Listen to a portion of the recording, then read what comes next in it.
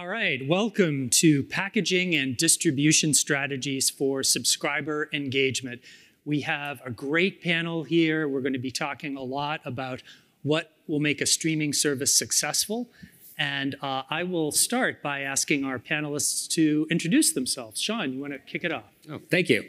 Hi, everyone. I'm Sean Gupta from Paramount Streaming. I'm the SVP of Streaming Strategy for both Paramount Plus and Pluto TV. Um, I was here last year also, so it's a pleasure to be here. Uh, thank you for having me. Hi, I'm Robert Schildhouse. I'm the uh, General Manager of BritBox North America. This is my first time here, but also thank you for having me. Uh, just by a bit of background, I've been in the streaming space uh, really since its inception. I was one of the first employees of Hulu and have been around streaming both on the platform side as well as the content side for pretty much the entire duration of, uh, of this industry. So excited to talk about it. Thanks. Uh, hey, everybody. Thanks for having me. Also, my, uh, my first time here. Uh, John Zelenka. I'm the Chief Revenue Officer of a company called SSIMWAVE. Uh, SSIMWAVE is an IMAX company, uh, a subsidiary and IMAX, I think everybody is pretty familiar with as a, as a household name. And IMAX has spent its legacy really trying to improve and optimize the viewing experience in theaters. Uh, with SSIMWAVE, um, this is the chance for IMAX to move into the home. Uh, so very specifically, what, what SSIMWAVE does is we deploy a set of AI technologies throughout the, the VOD and the live uh, workflow.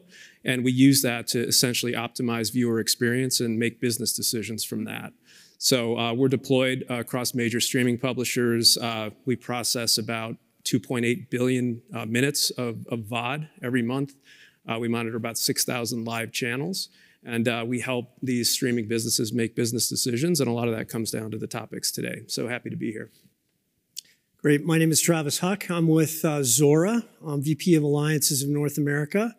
Uh, Zuora is a subscription payments provider, service provider based out of Redwood City, um, publicly held. We have about a thousand customers, uh, many of whom are uh, VOD or video or traditional media. And one of the interesting things uh, when I talked to Dan was we've built a, an aggregated anonymized data set that's allowed us to look at um, churn and pricing and to basically make some correlations between, uh, between certain types of events. And uh, churn and prevention of churn seems to be uh, on a lot of people's mind these days. So um, really, well, really uh, happy to be here and um, looking forward to the discussion. Good. And I'm Jonathan Hurd with Altman Solon. We're a strategy consulting firm focused on technology, media, and telecom. We have 600 people around the world in 13 offices. And my focus is largely uh, around streaming services, uh, working on content, packaging, pricing, bundling strategy for streaming services. And in addition to the work we do with clients, we have a self-funded survey that we've been running for 13 years now that's been tracking consumer behavior uh, and adoption of streaming services. And just to give you a, a quick um, set the context of how you know what's been happening happening with streaming services. As you all know, during the pandemic, there was a big jump in consumer use of streaming. And uh, back in 2018, um, we had about, for those who were using streaming services, about two, an average of two uh, subscriptions per household. Now, for those subscription video on demand services, there are about an average of four, and there are 82% of households in the US that have adopted streaming services. So we've been seeing a lot of growth, especially recently, uh, but churn continues to be an issue. And you know, when we ask consumers, um, how long do you, or what's the likelihood you'll cancel your subscription in the next year? Uh, we've got about 20% of people saying that, and it actually is even higher when you take a look at a typical streaming service. Um, you know, in a given month, it might be uh, three to five percent um, churn. So it's it is a significant problem. And so what we'll be talking about here are strategies for retaining customers, attracting customers, um, getting as much out of consumers as you can around their willingness to pay for services. And so we've got um, uh, some great uh, experience from our panel kind of two streaming services uh, and two vendors that are, that are working with streaming services. So let's kick it off. Uh, start with a, a, question that's more geared to uh, Sean and Robert. And you know, if I'm ignoring uh, our, our, vendor partners down the end, it's uh, we'll, we'll, be coming back to them. But okay. initially, let's set the stage from a streaming service uh, provider perspective. Um, what tell us about you know what is the content that you offer? Who are the customers that you're targeting? You know, overall, how do you think about your streaming service in that context? Great question. Um, thank you. So when we think about Paramount Plus, which has had tremendous growth, um, and it's the fastest growing service over the past year, year and a half, um, we're really, we have a value proposition where we're serving the entire household. So to level set, we have the live feed of CBS, so that includes CBS News and CBS Sports, so programming that you need every day. We have CBS Originals, um, that air on CBS in the live stream and then also hit the platform on VOD. So that's shows like NCIS, Survivor, Ghosts, um, most of the number one shows in the United States. Um, then we have, you know, scripted, unscripted, sports with NFL and UEFA, and then we have kids programming. So for original scripted programming that hits Paramount Plus, um, think of shows like 1923, 1883, Mayor of Kingstown. That's all from the Taylor Sheridan universe. Um, we have shows from the Star Trek universe um, to kind of round out our scripted portfolio. And then from an unscripted perspective, uh, we have RuPaul, um, The Challenge, et cetera. So a lot of Paramount franchises that now have originals on our streaming service. And then from a kid's perspective, um, SpongeBob, Paw Patrol, Clifford, um, all of that to service, you know, uh, the younger folks in the household, and of course, then our hit movies from Paramount Studios. So just, um, you know, some films that you may have heard of, like Top Gun or Sonic the Hedgehog or The Lost City. Um, all we had five number one films last year that then hit our streaming service um, with a fast follow window. Um, so our pro proposition really is to service the entire household. Well, I'd say we take a uh, slightly different approach in at BritBox. So BritBox is a joint venture between the BBC and ITV. Uh, for those of you who aren't familiar with British television, we represent uh, BBC and ITV are the largest two media companies in the UK, and so while st stiff competition internally within their markets outside of the UK, they've come together to create BritBox. We're in eight markets around the world, uh, including US, Canada, Australia, South Africa, and the Nordics. Um, but we're strictly British programming. So while Paramount Plus thinks about all four quadrants, our core demo is really uh, an older female demographic, but we do touch a bunch of adjacent audiences as well.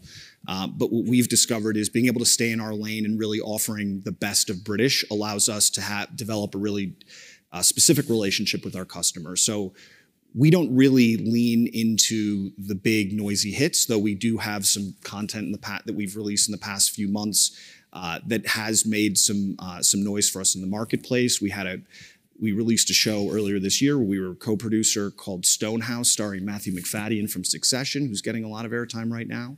Uh, but we're so we do lean into some of those shows, but what we're really presenting to the marketplace is a holistic uh, British content library uh, and really the richest archive of that programming on streaming anywhere. And because of that, we don't face the same churn dynamic that the rest of the marketplace does. We might get into that in a bit. Uh, we people who find us and discover us see us as satisfying that really that entire segment for them. Uh, so while they may pop in and out of other mainstream streaming services for the hits, once they discover BritBox, we've we've really been able to manage churn very well for them. Uh, so that approach for us has allowed us to be very, uh, really, I, I, don't want to say rigid, but specific about British only, not adjacent markets, uh, and and service our customer uh, as well as we possibly can. And then Jonathan, I forgot about the, the second half of our portfolio. Under Paramount Streaming, of course, I got so excited to tell you about Paramount Plus, but we also have Pluto TV, which is the number one fast service um, in the United States, and, and that's in uh, 35 markets globally. Got it. Um, Sean, one of the things we had uh, talked about was the you have that total content proposition, and you mentioned keying off big events as a way of uh, building your audience. And tell us about an example there. Um, yeah, so you know, with CBS um, has some big events, either let's say the Grammys or Adele, March Adele, Madness. March Madness. Um, golf, NFL, UEFA, um, all of that. Obviously, we're also, you know, if someone doesn't have a cable subscription or broad, you know access to broadcast television in their home, we're live streaming those big events from a music and sports perspective on Paramount Plus. Yeah, absolutely. And those are those are huge acquisition drivers um, for all the for all the players. Yep. Um, Robert, um, you mentioned the female uh, audience. I have to say, it's where my wife and I find a lot of common ground. Actually, we watch. We can't get enough of British crime dramas. So Fantastic. We enjoyed Stonehouse uh, immensely. Excellent. Um, so, you know, when you think about that audience and um, how to get to them, let's talk a little bit about distribution. We we signed up for uh, BritBox through our Apple TV, uh, you know, that storefront. Um, but what are the different ways you distribute um, BritBox? And similar question for you, Sean. Yeah, absolutely. So, what's just an amazing evolution of this marketplace since the early days of, of streaming when everyone was purely direct to consumer are these aggregated platforms, Amazon, Roku, uh, Apple, as you mentioned, where you can reach an audience that otherwise your core marketing may not reach. So we have found that to be incredibly uh, beneficial to the growth of our business. Just working with with these guys, there are pros and cons, like in any other business decision about having direct relation with the consumer. I think a lot of people understand there's you don't exactly get the same level of data. You don't, and when we think about programming a service, we don't have a primary network like CBS or all the Viacom cable nets.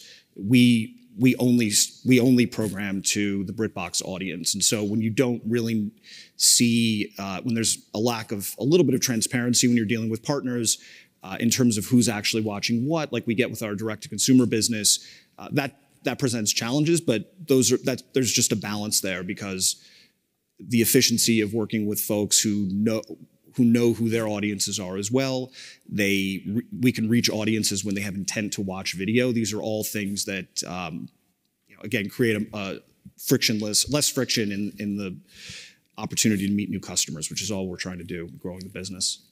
I should also mention on the live side, not necessarily at the scale of what uh, of what Sean's doing over at at at, uh, at Paramount, but we've done some really interesting things around live as well uh, streaming like the BAFTAs award shows uh, in terms of events and, and, live streaming. We have a coronation coming up, and we're constantly looking for ways to tap into the popular zeitgeist as well and drive sometimes adjacent programming, but sometimes the main event also for our audience. So we've seen that as a, as a growth driver as well. Awesome. So to add on to that, so when I think about it, I think about our, our the D2C route and then the partnership or strategic partnership route. So from a D2C perspective, um, you know, that is the most efficient way to reach a customer. Um, it gives us direct access to have conversations with our customers. It gives us, you know, control over the content metrics and also gives us control over the very specific user experience, right? However, there are huge advantages of working with important partners like Roku and Amazon mm-hmm. that you mentioned. Um, they bring in new audiences, expose your service to different audiences that you may have not had access to. Um, and of course, they help with marketing and through their various marketing funnels. Um, and those are all massive global players. So it's great to have our services um, um, you know, on their platforms. Um, so some examples that come to mind, you know, internationally, um, we've worked uh, with Sky and Canal Plus to launch our services um, through them in certain markets. We actually recently launched Pluto TV with Corus in Canada, mm-hmm. and they were a great strategic partner there to kind of reach the masses in Canada. Um, Pluto TV is now the number one uh, downloaded fast app in Canada, and we're seeing metrics similar to the United States. So that's been great. Um, and then, you know, there's a couple out of the box strategic partnerships that we've um, executed on recently. Um, we're really proud of one that we announced last summer with Walmart Plus. So if you subscribe to Walmart Plus, um, Paramount Plus is now the video offering um, for the Walmart Plus subscriber. And look, that's a great, great distribution partner. They give us access to Walmart customers. Um, as you know, there's what, four or 5,000 Walmart stores um, in North America. I think the stat is there's like 130 or 150 million Americans that walk through a Walmart every week. And so to have a partner like Walmart um, that's then leveraging our IP and our series to help them market the Walmart Plus membership. Um, it's, it's really great for, for our brands, but also from a customer perspective, how awesome it is. How awesome is it that an American who signed up for Walmart Plus for free delivery and discounts on gas and et cetera is now um, also able to access Paramount Plus. Um, and then also, uh, you know, uh, we announced that Delta partnership um, so it'll go live late spring, summer. And when you're, uh, if you're a SkyMiles member and you log in while you're flying Delta, you'll have access to a free trial of Paramount Plus while you're on board and after you land for a couple days. Um, so we love the D2C route, but also we found great advantages um, with the traditional partners like Roku and Amazon and Apple, et cetera, but then also with these new groundbreaking partners like Walmart and Delta. So it's been a very, very exciting year from a partnership perspective. That's great. And it, it's a, a very common trend for video to be a sweetener for other offers, whether it's commerce or advertising or uh, devices. It's um, that's great that you're using those other um, other partners. Uh, let's shift over and talk about the customer experience a bit.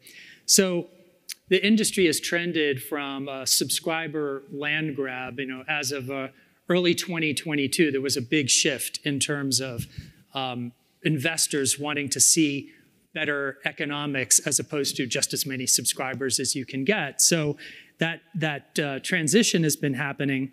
Um, what are what are some ways that streaming services can retain subscribers? And I'm mainly uh, speaking to the uh, uh John and Travis, the vendors here terms of what, what have they seen and, and some of the ways that you can retain subscribers better? Sure. Um, I can jump in. I, I, think you know, as as a vendor, and you know, not only this business, but the other businesses I've been in. I mean, the biggest thing that you really can do is you know try to understand and have an appreciation for for the business issues of your customers. And you know what what streaming services are facing now is you have sort of these competing uh, metrics, right? You've got the need to provide these these tentpole events, incredibly high quality content, great content, you know, a quality and consistent experience across across the service, and at the same time, you know, have to manage these businesses sustainably, right, and for the long term, for bottom line and for profit now uh, more more than ever. And I think you know to state the captain obvious part, great content obviously brings in subscribers. Um, you know you can you can read about this anywhere. The guys to my left know this better than than anybody. Uh, I think the I recent, recently read a JD Power study, and I think 30% uh, or more of streaming subscribers, you know, went to their service for a specific piece of content. With some of the big services, it's even higher than that. And so, you know, when that halo effect ends, then it's a question of what you do. And that's where I think it becomes really important to provide consistent quality experience for the user and for the viewer and to provide adjacent content and adjacent experiences that they're going to stick around for. And so whether it's a hybrid of paid subscription and whether you can keep a viewer interested uh, and keep them on the platform with a free tier, by understanding what they did, what they experienced within an app, what they experienced within a video. Those are the types of metrics I think you know that are very insightful for for customers that we try to provide. Yeah, absolutely. I, I would I would second that, John. I think uh, great content is obviously key. Uh, what we've seen in our data is simple stuff like, um, you know, when you offer an annual plan, you know, it, it, our data said two years ago it was about 12% of a discount. Now people are offering about 20 on average, uh, you know, to get people to to subscribe for a year. Then they don't have to think about it as much, right? think about the credit card charge showing up. But um, you know, we have an incredibly diverse group of customers, and you know, a lot of the core ones were software as a service, and they struggled in really you know keeping churn down. So, uh, what most of them did is really understood those uh, those behaviors, the dynamics, build the cohorts, make sure you focus on customer experience. I mean, we can't say that enough. Um, obviously, content is great, but customer, uh, you know, customer experience is great too. Um, but you know, we have customers as diverse as you know Zoom is a customer, and we saw what happened to them during during COVID. But we also have like Fender uh, Fender guitars. For them, churn is you buy that guitar, you put it in the closet, and you never play it again. They want you to buy a second guitar, so they released uh, Fender Play, which is video guitar lessons. And the distribution strategy there was, you know, give somebody a card, they sign up, they get like six months free, and we, we of course, you know, provide the subscription billing. Uh, we also do usage-based billing, ad-based billing, but in this case, it was just a subscription uh, bundled with the guitar. And they've seen, um, you know, their their average purchase has gone up, and a uh, lot lot more women playing guitars, a lot more uh, Taylor Swift fans, so they can see that they, you know, they've added a lot of Taylor Swift to their song collections, but um, you know, it, it's all about that customer experience and then feeding that back in and having the agility uh, that we find there's a lot of correlation to the amount of changes that you make mm. to the subscriptions and to the offerings. And that if you are tailoring and making those changes, you tend to have higher retention rates. Mm. Mm-hmm. What, eh, this is for anyone here. Uh, what are some of the key metrics that streaming services should be paying attention to? you know, obviously there's just plain old churn, but behind that, you know, what are some of the um, other metrics that that you all track and uh, pay attention to? I mean, I'm, I'm sure you guys know, but it's engagement, right? It's engagement, it's logins. Um, and I tell you, I, you know, in being a, a user myself, you know, you get the draconian, uh, you know, 2FA type, you can't use it in two places versus, uh, you know, when you are doing password sharing, you're building your profiles. Um, I think you know, um, you know, guys like the gentleman to my left probably have a lot of data on on that engagement. But the key is really to uh, you know to tailor those those offers based on the engagement, and I think it starts in many cases with the trial. You know, we do see a lot of very simplistic, hey, try it for a month but you can see how much they're watching, you can see what they're watching, you know, and we have traditional print media providers that have done a really good job of being able to say what kind of a device you're coming in from, you know, where you're coming in from, uh, you know, uh, and and being able to tailor that offer based on that behavior that you see during the trial, so that you can, you know, present them the right offer and keep them on the platform. Yeah. I think I think quality of experience metrics are are huge. You know, both on the player and the play out side as well as upstream. Uh, to give a couple examples on uh, on QoE, um, you know, I've worked with technologies that you know basically predict problems. They predict problems with a combination of a certain ISP and a certain CDN configuration that understand that there's about to be a problem somewhere. Uh, you know, we've done case studies where that's uh, reduced churn by five, 10 percent you know, you extrapolate that across a major streaming service, it's tens of millions of dollars. Mm. Um, it's just huge. And that also translates into, you know, customer success and customer care departments. You know, if you can arm them with that data and they can actually understand the problem of that customer when they're talking to that customer specifically, you lower, you know, mean time to resolution by, you know, 85%. Uh, we've seen cost, uh, customer care centers, their costs go down by 30, 40% and you have much happier customers. And then also, I think making decisions about the quality of the content um, that goes out, you know, the bit rates and preserving creator intent on that type of content, I think is, is very important. And there are really interesting ways that you can make trade-offs and save expenses without having to degrade the quality of the content that's going out. Good. Any? Uh... No, I mean this, the level of sophistication that goes in now to create minority report basically for who's going to churn out of the business has gotten to be pretty incredible. And that's what i keep challenging our team to think about which is what are the signals in the system that are telling us that this cohort is more or less likely to stick around for another month? Because ultimately these are simple problems we're trying to solve for. How do you get as many people in the door? How do you convert them through a free trial which is a great uh, indicator of whether you're delivering on the promise of the marketing and you, you got somebody to check you out. Can you keep them around? And then how long can you keep them? And how, how long can you keep delivering on that promise? And where can you pinpoint idea moments when you think, okay, there's a chance this person has has had enough or they're ready to move on, and then ensure that there's an offer or some sort of communication to them, but that keeps them around and gives you another shot at it. But also, you know, for us, it's it's about delivering on that content promise. It is that I want to make sure that you never think about leaving our service because you you see us as you see BritBox as more than just that one show that you like, but you see BritBox as a package of, of shows that you know you can trust because our editorial standard is incredibly high and we have a high we have a very uh, curated experience but anytime you show up you're going to find something there that you and your and your family can watch or you and your wife can watch and, and actually agree on so as long as we can continue doing that and using some of the metrics that these guys are talking about and thinking about it uh, we've been able to just keep fine-tuning and, and, keeping folks around for a long time which is uh, keeping me in the seat yeah I love his Minority Report um, analogy. So on the 29th day, if someone hasn't watched something on your service, an alarm goes off and Yeah. And people show up at their house. Um, Yeah, exactly. Tom Cruise shows up at your house. Um, that's a great great analogy. I love it. Yeah, for from a content perspective, as you become one of the largest services in the United States, it's not just about starts anymore. Then it's about engagement. Um, you know, total hours for a piece of content, total households that have engaged with that content, um, and then of course, you know, from a financial metrics perspective, you know, ARPU is is a hot topic these days. Um, on the fast side, TVH, right?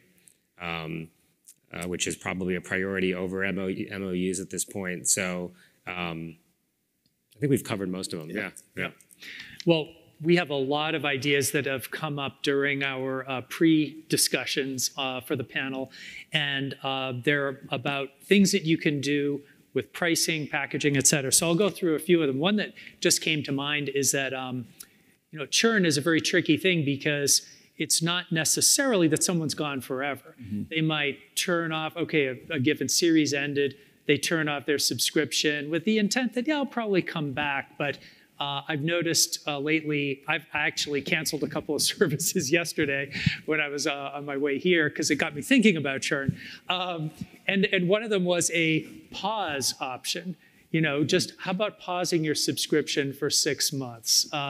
Uh, any, uh, you know, thumbs up, thumbs down on that one? Is that something that uh, you've heard of, tried? It's interesting. So Walmart Plus just announced a pause for their subscription service. Ah, interesting. Um, I, I guess they did some consumer survey work, and people maybe wanted to pause it for the summer, or I don't know when you would pause free delivery or why. Oh, a summer house. You're up Yeah, going up yeah. to summer house. That's yeah. a large. That's a large pr- portion of our population. Yeah.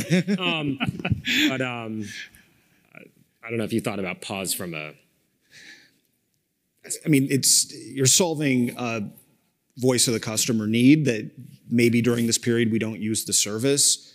I do think it feeds into this idea that you're training users, you're training your subscribers just to come back when they, when there's a show that you like. I, I get it. Um, I don't have the data behind it. There has to be some. It's, it's an experiment that has some output that I don't see. Uh, I'm doing everything I can not to have to go down those areas. I mean, yes, if you unsubscribe, if you unsubscribe from our service, you will hear from us a number of times over the next 12 months. We're going to do our best to make sure that we reintroduce ourselves to you and bring you back into the fold.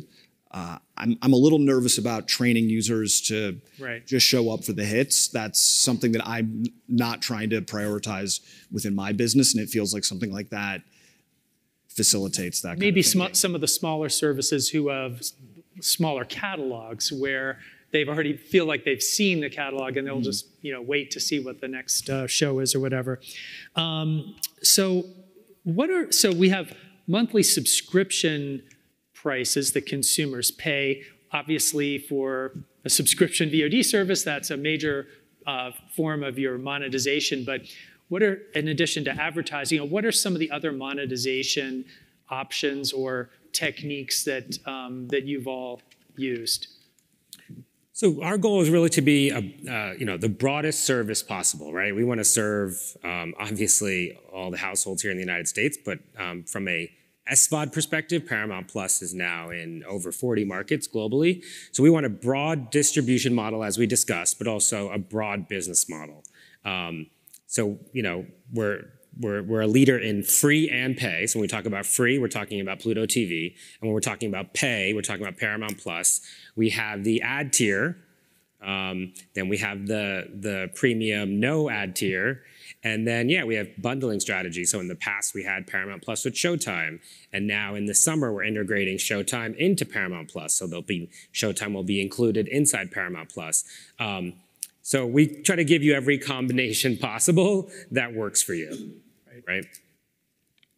We're, we're a much narrower business, as I've mentioned a few times. So we're a single line of business. We're a, an ad-free streaming video service. Uh, we do offer monthly and, and annual subscriptions. Um, but at this point, we're not in the AVOD space or, or anything like that. We're just, we try to keep our value proposition quite simple. Yeah. And annual subscriptions, um, how, what is the difference in terms of the uh, demographics or the type of subscribers that would, you know, go to a annual versus monthly? I mean, I would, I would guess without getting in their heads, and I don't have the data at my fingertips, that we're talking about someone who knows that, like your family, that because obviously it is a discounted offer, that I'm going to be a BritBox subscriber for the next year, and we're certain about that. So one of the things that we've just been batting around, though nothing to announce, are are there longer term subscription subscriptions that we could offer? Someone who knows yeah, I'm going to have this forever. And the one hypothesis that that I have very strongly, and I, don't have data to prove it, though I've asked my research team to get on it, is that as you kicked off, we, you talked a bit about the expansion of SVOD services in the home from two to four, and that may grow. Uh, I have some early indication that. Uh, the BritBox subscriber may even be more than that uh, because it's someone who understands that there are specialty services that scratch a different itch than a mainstream service. And so we live very complementary next to everyone else. I don't see anyone really as direct competition. I want a Paramount Plus subscriber to also be a BritBox subscriber. I want a Paramount I want somebody who encounters uh, British programming by watching The Crown or Bridgerton on Netflix to know that they can go deeper on our platform. So I want to live in those environments uh, right next to them. But once somebody comes in and they recognize, yes, this has to be part of my streaming diet into perpetuity, uh, I'd love to sell them a perpetuity plan, whatever that, however I would price that. No news on that quite yet. You yeah, I mean, I, I, think, uh, you know, we're sort of like the arms dealer for people that need flexibility in terms of billing. I think when you look at the, you know, what, what you guys need to do on the back end, you know, you're looking at streaming quality, you're looking at number of simultaneous streams, you know, you're, you're looking at different bundles Eh, you know there's there's all that engineering stuff that you need to do in in sort of that provisioning and entitlement space. Um, you don't want to have to build all the billing so we we provide everybody the flexibility to go to market as SVOD right as a, as a subscription um, to do usage right? We uh, have a lot of ad supported uh, media. We have a lot of regular media. Um, the pause button uh, our newspapers made us put the pause button in there because you know you don't want your paper piling up at your driveway. Definitely a little bit different for for streaming services, but um, but we do see you know in our B two B core SaaS market what's happened as you know uh, in the pure subscription world like AWS pricing. We hear that a lot, right? It's sort of usage based pricing, but you're subscribing at a certain tier and you're consuming resources inside those tiers. So, you know, I think you're probably going to see a lot more flexibility, you know, as these channels grow and they have more success.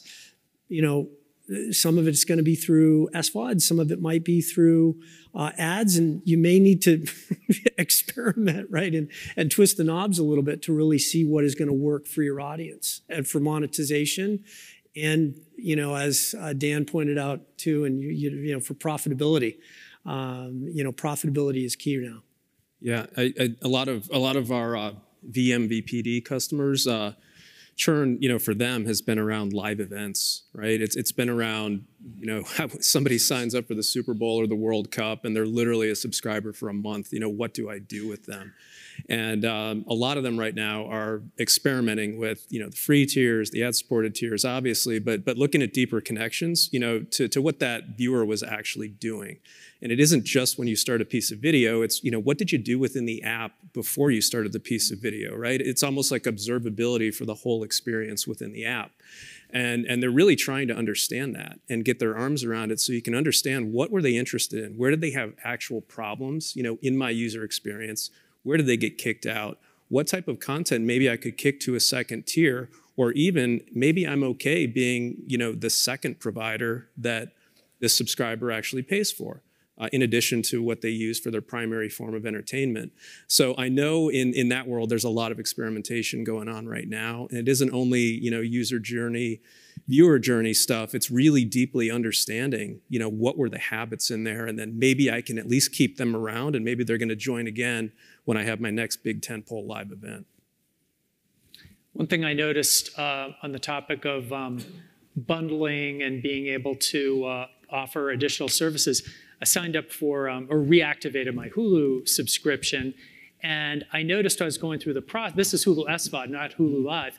When I was going through the process, I was act, asked, asked if I wanted to bundle HBO Max. This was before it got um, renamed. But in any case, I thought that's interesting. One SVOD using another as a distribution platform. And you know, do you see that happening uh, more and more potentially? And and that does require a flexible billing system, obvious, obviously as well, to do that.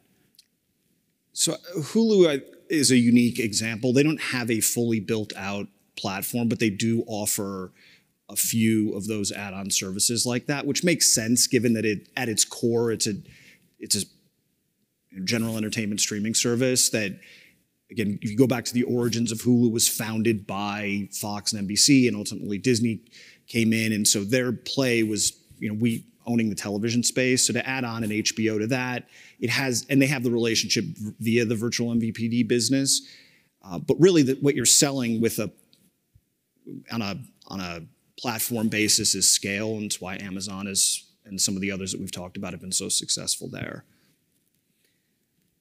Yeah. So I think when you're talking about Hulu specifically, um, we call that their channels model, where they want to offer these other services. Um, I think in the future, potentially, you will see other SVODs bundled with other SVODs, but probably offered not by an SVOD, but by, let's say, Somebody a telco else. or yeah. an MVPD. Yeah. Um, what I think is more interesting than SVODs bundling with SVODs is um, I, am pretty sure most of you follow Evan Shapiro here, mm-hmm. who's um, an author and a, a, former streaming executive. He has something he calls um, the lifestyle bundle. So it's SVODs bundling with other must-have medias. Yeah. And so he relates it to um, uh, uh, the hierarchy of needs, and he created what he said. You know, what, what are your media hierarchy of needs? You wake up, you need your social media, you need your premium video, you need your music, you need your um, podcasts, you need your news, your reading, etc.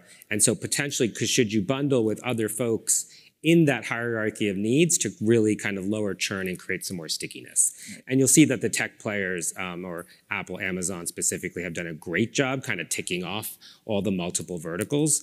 Um, but I think that's a very interesting way to think about it going forward. Probably the first instance of that that really I think is if you look at an inflection in Hulu's growth curve was Hulu and Spotify, yeah. Yeah. Uh, and they offered a student deal that was like basically you'd have to be an idiot not to subscribe to it. I think it was like $4.99 a month and you got Hulu and Spotify. So if you're a student, it was like, of course I'm going to subscribe to this. They just made it so inexpensive and Hulu's trajectory just took off from there. So I agree with you wholeheartedly that and as we think about bundling, which we haven't gone into, I'd say with a head of steam yet, but I'm certainly I'm probably more interested in looking at those types of out of the box um, ideas of bundling our service with something that may not be video but is a important factor in somebody's lives where maybe there's high overlap in potential audience but low overlap in actual customer base and that i think in bundling nobody the whole point of unsubscribing to cable or cutting the cord is that you escape the bundle. So just putting those same things back together again, mm. I don't think that's the creative answer. It's about mm-hmm. finding generally similar audiences that aren't subscribed to both services and make them uh, a proposition like the Hulu uh, Spotify deal that's just like too good to be true, where that value just makes a ton of sense for them. And I think that's the I don't know if that's the silver bullet for churn mitigation, but certainly it takes off, it takes away from those uh, spikes in users in in subscribers or that churn return model because you're subscribed to that broader bundle.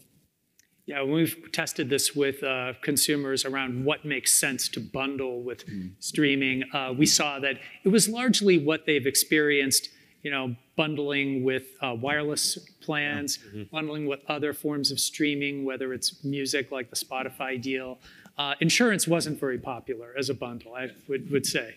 Uh, but um, that graph in your latest report, yes, like a four right. blocker. But if we did bundle with insurance, I mean, that would be amazing. Yeah. yeah. um, but let's see. Uh, we've been talking, um, Sean, about uh, windowing and opportunities to maximize your your ARPU.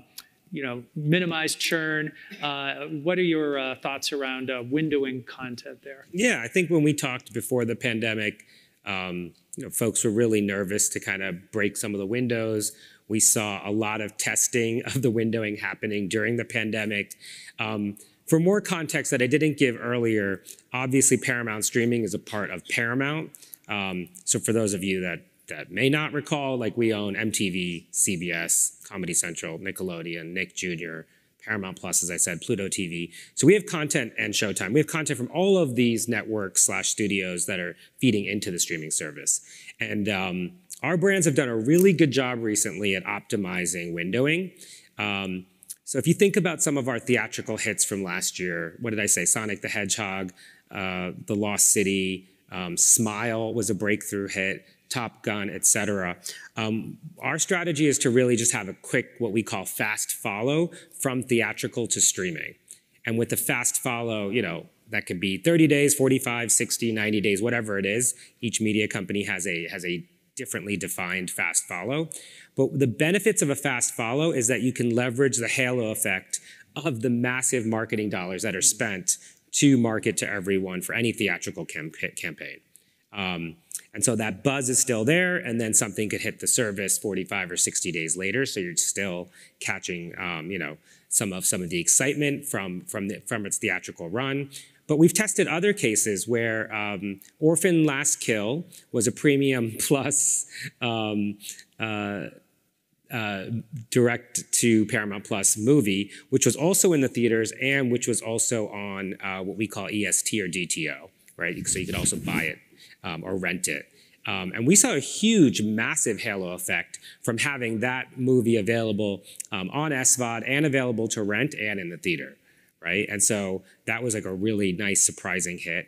Um, Smile was a breakthrough hit that then had a fast follow to streaming. Um, obviously, we didn't have a fast follow for something like Top Gun because it did so it was the number one movie of the year. It did so well in the theater for so many months. However, we did premiere it on Paramount Plus on December 22nd, right in time for the holidays, so everyone could enjoy it um, at home while, while they were home for, for the holidays. Um, so we've really kind of optimized and tested over the past couple years. Um, and our strategy really is to hit the theaters and then have a fast follow to, to streaming. Um, and then you, sometimes you'll see it, you know, hit our streaming service, and then you'll see it for rent somewhere else on your MVPD. Um, but we we really tried to try to take advantage of the entire halo effect. Yeah, yeah one thing I've noticed um, with BritBox mm-hmm. is the uh, you get advance notice that something is available in the UK, mm-hmm. but not necessarily yet in the in the states. Yeah. But the the um, you know for big fans that must build up the anticipation and um, Win- windowing takes on a little bit of a different meaning for us because yeah. we don't have multiple streams of revenue in the same market so it is about premiere in the UK versus uh, when it comes to the states for us the way the philosophy is it's more about programming to the BritBox subscriber than it is to be day and date necessarily with UK content because I don't think anybody in this room is a specialist in, in UK television, but release dates are all over the place. It's a cause of a material amount of headache for everyone on my team. uh, but they move dates not just week to week, but sometimes quarter later. And if you're look, if you're trying to put a schedule together for U.S. service for an audience that's highly dependent on being day and date with the UK, you're going to have big gaps in scheduling, and then you're going to have high concentration periods. It just doesn't make sense. So there are occasionally shows that have enough resonance over the Atlantic that we want to be at the same time. Certainly shows where we uh, have a premiere or we are a, a, commissioner of the content itself. We we want to be able to take advantage of that same earned media halo as uh, as, as, you guys are able to do as well.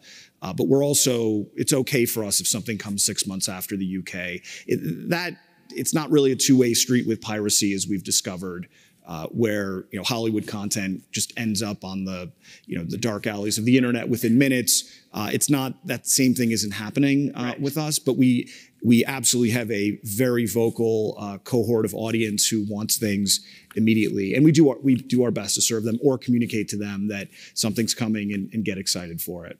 Well, your demographic is probably the one of the least pirate-prone uh, right. segments of that's the market not, as well. You did not grow up with um, with yeah, Napster or anything else. So. And I focus mostly on theatricals, but if you think from a television perspective, um, given we have the CBS live stream, right, our windowing is same day or next day hmm. for all of those CBS originals, CBS News, and CBS Sports. Um, so that's a that's a really promising uh, consumer offering for our subscribers. And then from a from a cable perspective, we now even leverage libraries. Um, and then they're windowed on Pluto, right? So we have three CSI channels. Um, there's a Love and Hip Hop channel from from with the VH1 library. Um, so we've been able to then you know leverage um, kind of not just within Paramount Plus, but then also leverage that windowing strategy or those libraries um, on our fast service, so Pluto TV. Yeah, it makes a lot of sense. You've got some of your audience or broader audience that is more um, willing to pay than others, and um, so you've got that opportunity to hit different segments of the market with that um, uh, windowing strategy there. Absolutely. That's great. As, as this content, um, I think the area I can speak to uh, mostly here is as this content moves, you know, from a theater into streaming, it's, you know, how do you sort of preserve the same experience for the user? And um, you know, my company's intently focused on that. We have everything from you know preserving the same film grain quality, right, as it moves into streaming, as it goes through encode and transcode, uh, to looking at you know at what bit rate is the optimal bit rate to distribute this in, right, and then what is going to be the perceptual difference uh, to a user. Uh, and being able to actually quantify that and, and be able to guarantee you have that same level of experience uh, as it moves to windowing, it moves to other availabilities on these services, I think is critically important more and more as streaming gets, uh, gets accelerated.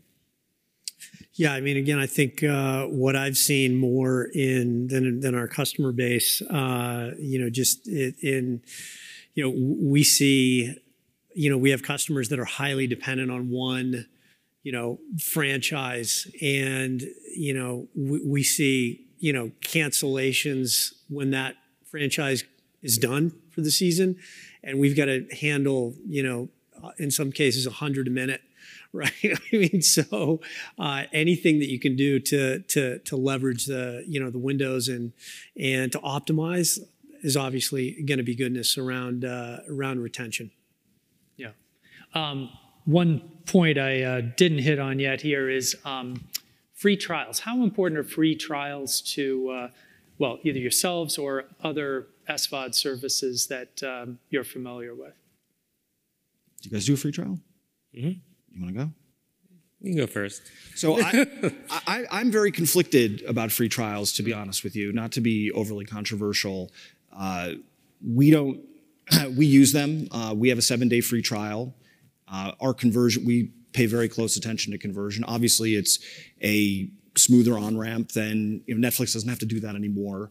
Uh, we want to make sure that we're allowing people to kick the tires and check out the store a bit. Uh, I, I think there could be other strategies that might be more effective than that, with maybe free sampling in front of the paywall, uh, just getting people interested in the content beforehand. But our conversion is very high. So that's the one reason I haven't done anything drastic or advocated for doing anything drastic is because we seem to deliver on the promise that we're making when people show up. But you are putting some friction in front of users even to get there as well, uh, meaning getting into the free trial. You do have to in insert a credit card. You do have to um, give a bunch of information and go through that sign up flow, uh, which doesn't you know, doesn't have 100% completion rate, of course when you get somebody to sign up, and we see that through some of our promotions uh, therein, and you don't have to then think about optimizing those first seven days. So it, it's it's a I'm conflicted. I guess that's the best way to put it. Yeah, I mean, for the data that we we see, um, you know, obviously coming from, you know, the world of SaaS, free trials were everything, and you know, we, we'd always say, you know, did they click the blue button, right? That, that was our, you know, the acid test. And, you, you know, what is the blue button is, is always ever changing. But, um, you know, but we would ruthlessly and our customers would ruthlessly track that. Uh, but I do, to your point, I, you know, I see it's sort of like, if you want this content, you really do want this content and get the credit card and we have a lot of experience of unpaid free trials versus paid trials. Surprise, surprise. Mm-hmm. Paid trials convert better. I mean, um, one of the key findings for us was when a customer takes the exact same product and they offer it in a new market, um, we tend to be very US centric and we offer everything in USD. Uh, we saw that if, you know, for most other areas of the world, if you price it in the local currency, your conversion rate and um, uh, your overall revenue goes up by typically 7%. Because um, it's just such a hassle to pay um, in many other places. So, one thing that we've seen is every place you're serving, price it in that local currency and you know you're you're already going to be doing yourself a favor on the conversion rate uh, going into it. Um, when somebody you're not going to talk about free trials, I, I mean, if, if, you think about it, right, earlier I said we want to, you know, we're we're we're a big, broad service. Mm-hmm. So from a consumer perspective, uh, you know, we talked earlier that we have different tiers, we have different business models. So from a consumer perspective, I mean, now our service is is, is large enough. So even with the seven day trial or 30 day trial, you can't make it through um, our originals or our library fast enough. But um, it just it's consumer friendly. It gets people, you know, to kind of test out what they want to what, what they want to watch, and then it's our job to to retain them. Yeah, and um, techniques. Good answer yeah. Techniques for directing uh, a consumer that you know is trying out your your website or your service for the first time. Um, techniques for directing them to the right initial content to try. Is, it, is that something you've experimented uh, with? This is a challenge for us because unlike Paramount or any of these other services, everything on our service is probably going to be new to a subscriber. Even if you're you watch British programming elsewhere, you're probably not well versed. If you're first, if you're encountering BritBox today, you're probably not well versed in the lot in the catalog of, of the canon of British television. It's probably not. You don't. So these shows are as big as anything in the U.S. in the UK, but they just we don't. We're not subject to a 360 degree awareness campaign. Right. You go to you know, you, walk, you can't walk down the street in New York City which, without being inundated with marketing messages from every streaming plan that's out there, uh, streaming platform, including ours, by the way. We're, we're, we have a billboard in Times Square too, but uh, you don't know what these shows are. And so I, have challenged the team. I, I say, I want to know in seconds how long it takes somebody once they open up the app mm-hmm. at any time, but especially the first time to find something to watch. And so that is a constant challenge. Just choice paralysis is real. We've all sat in front of plenty of services and said, there's nothing here for me to watch, despite the fact there's more content than you could ever imagine watching in a lifetime. But again, it's on all of us to editorially introduce people either through algorithmically driven experiences or just hand managing hey here's some great things to watch right now some of these things like for example back to succession we like to ride on some of the broader storylines that are happening out in the market we had an interview with brian cox who I'm not going to spoil what, what has happened to him in this season of Succession for those of you who haven't seen it, but that's front and center on our service, so we get to ride on some of the noise that's being made elsewhere. And so we're, I'm constantly challenging the team. How do we get somebody to watch something faster? Uh, because to me, again, we think about indicators of health of service and health of subscriber, it's are, are they spending 15 minutes before they find something? Probably not a good sign. They're going to stick around for too much longer. Yeah. Question for uh, our vendors here. Um, what advice, uh, and I'm sure there are others in the audience who are, are vendors to uh, streaming services, what advice do you have for um, others who are serving SVOD services uh, in terms of what are the keys to success there? Uh, yeah, I mean, from from my perspective, from a technology vendor perspective, I think there's there's two things that are that are huge right now. I mean, number one is you have to understand your customer's business, and the second is you have to show some demonstrable ROI right? I think, you know, going in and, and talking to our customers now, you have to be conscious of, of the decisions that they're making, you know, what CTOs are being charged with, what CFOs are demanding before they spend a dollar on anything and you know what chief product officers are thinking about and you know chief strategy officers of, of the major services and really understanding the business dynamics there so from a vendor perspective i think it's really kind of leading with with the why versus the how we do it, right? What business outcome is, is this going to lead to? So in other words, you know, you go in and talk to somebody, you have to demonstrate that to spend a dollar with me, you're going to save 10. You know, you're going to make 10. And you have to have very clear ROI. You have to have very clear business outcomes, very clear case studies. And then I think it's very important to develop a partnership with these, with these customers uh, and to understand their business needs you get in for a certain level of service and you evolve with them and you gain trust as a partner. And I think that is the key to success for long term relationships where you really are driving business outcomes and you're not just selling you know a cool technology for the sake of the technology uh, to give one example one of the major streaming services you know it's over 50 million subscribers uh, you know we recently helped with decisioning on encoding and bit rates. And we were able to demonstrably show that, you know, from a viewer perception level, there is absolutely no difference. And they saved 17% in content distribution costs. Um, you extrapolate that over the size of that service, it's tens of millions of dollars. But you know, we had to be able to show that and prove why our technology worked and that it actually added value to their business. And I think you know, technology vendors that go in now and just show cool things um, might have been okay a few years ago. Uh, during the land grab, subscriber acquisition, all about customer experience, which is vitally important. But you really have to speak to that other side of this at this point, or I think it's going to be a very short conversation. Yeah, um, I totally agree, John. I mean, I think um, I was going to say just sprinkle in AI, but but that's not the answer. Uh, I mean, right now, uh, customers are very demanding. I mean, our sales cycles we're seeing much longer. You know, you're going into more, uh, you know, customer reference cycles and things like that. Uh, and in fact, we've invested in a platform that does uh, the value engineering for us, right? We, we ask the right questions, you know, of the customer. We look for all the areas because, you know, in our business, you know, you, you always are looking for revenue leakage, right? So your, your business is to walk around and pick up the pennies and put them into a bucket and figure out, you know, um, how much am I gonna, uh, am I gonna save you? Uh, but a lot of what we do see the value is is is what uh, you know how are you going to make money? How are you going to allow people to price and package effectively so that they can grow the top line?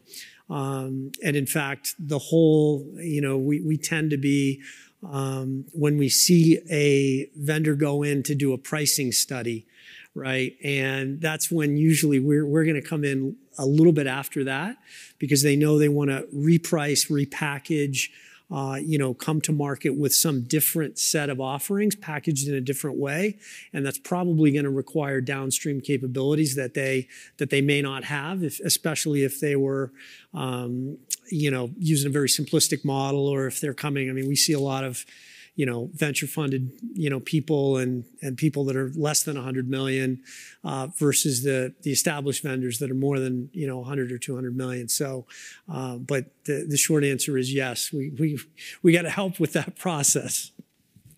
Cool. Well, uh, I did have a couple more questions, but we're pretty much out of time, and I don't want to eat into uh, lunch. So uh, please join me in thanking our panelists. Thank you, guys. Thank you.